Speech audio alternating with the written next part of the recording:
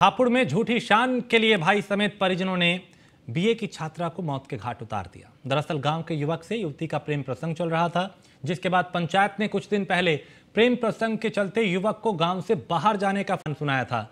बताया जा रहा कि युवती ने दो दिन पहले परिजनों से जान का खतरा बताया था और थाने पहुंचकर पुलिस से सुरक्षा की गुहार भी लगाई थी। मामले में पुलिस ने कोई कार्रवाई नहीं की, जिसके चलते युवती को जान गंवानी पड़ी। परिजनों ने युवती की हत्या कर शव को जला दिया, फ़िलहाल फॉरेंसिक टीम सैंपल लेकर जाँच कर रही है।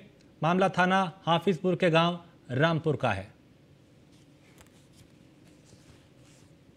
थोड़ी सी घटना की मुझे पता है कि घर में विवाद था, लड़की का किसी से प्रेम प्रसंग के चक्कर में। अब की घटना का मुझे पता नहीं, अब मुझे भी गाँव में सबके पता लगी है सूचना कि भी कोई लड़की रात में मार दी है। इतना ही मुझे जानकारी है। सही तरीके से मुझे नहीं पता। रात में संस्कार कर दिया गया है?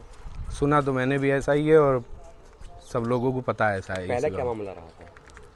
वो पहले का तो मुझे तो उतना ही पता है कि उस लड़के से फेसबुक पे फ़ोटो लगाने की वजह से कुछ आपस में दोनों का था। उसके ही विवाद की वजह से शायद ये घटना इन्होंने अंजाम दी है फ़ोटो किसने लगाया था और किसका लगाया था? लड़के ने इस लड़की का फ़ोटो लगा दिया था दो महीने पहले। अच्छा फिर क्या हुआ था?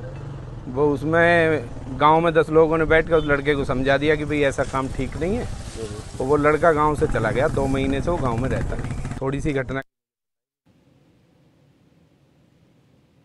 मोहम्मद ताहिर हमारे संवाददाता इस खबर पे ज़्यादा जानकारी के साथ। ताहिर युवती की बताया जा रहा है उसके ही परिवार के लोगों ने हत्या कर दी शव को जला दिया पुलिस अब जाँच कर रही है। क्या है पूरा मामला?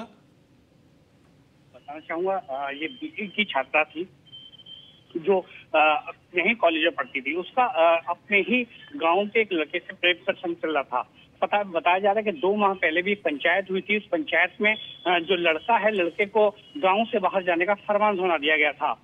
हालाँकि, वो लड़का गाँव से बाहर चला गया और बाहर ही रह रहा था। और अभी बताया ये जा रहा है कि लड़की को आनंद फानंद में, परिवार के लोगों ने उसका अंतिम संस्कार कर दिया और गाँव में अफवाह फैला दी कि इसमें जो है, लड़की ने आत्महत्या की है। हालाँकि जब गाँव के कुछ लोगों ने पुलिस से शिकायत की और पुलिस मौके पर पहुँची तो मामला कुछ और ही नज़र आया। जो है, पुलिस ने जब गहराई से इस मामले में छानबीन की तो लड़की के भाई सहित चार लोगों पर हत्या का मुकदमा जो है, दर्ज किया गया है। उसके अलावा दो भाई सहित तो दो लोगों को पुलिस ने हिरासत में ले लिया है। दो लोग अभी फरार हैं जिनकी तलाश जो है पुलिस कर रही है। बहुत शुक्रिया ताहिर जानकारी के लिए। तो प्रेम प्रसंग के बल, चलते बताया जा रहा है कि इस वारदात को अंजाम दिया गया।